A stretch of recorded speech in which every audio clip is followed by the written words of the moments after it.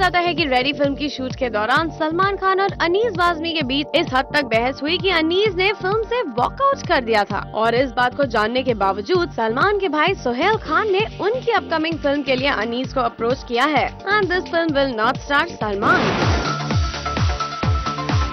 John Abraham, who is planning to start his own chain of gyms, wants to go a step further and wants to professionally advise people on bodybuilding and fitness. इसीलिए John ने London में three month course के लिए खुद को enrol करवा लिया है। And this will certify him as a fitness professional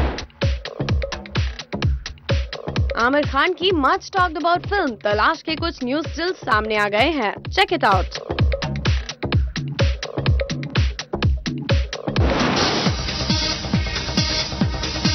Sophie Choudhary उनकी अपकमिंग म्यूज़िक एल्बम हंगामा हो गया को लेकर काफ़ी एक्साइटेड है। और रिसेंटली उन्हें मीडिया इंटरव्यूज़ देते हुए देखा गया। Were spoke volumes about her album I am very proud of it और जो रिएक्शन आ रहे हैं इतने ज़बरदस्त आ रहे हैं कि बहुत अच्छी फीलिंग है।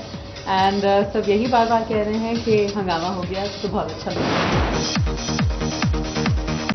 एक्ट्रेस भाग्यश्री को रिसेंटली एक क्लोथिंग ब्रांड के फेस्टिव कलेक्शन को चेकआउट करते हुए देखा गया। भाग्यश्री के साथ कई और सिलेब्स ने यहाँ शिरकत की।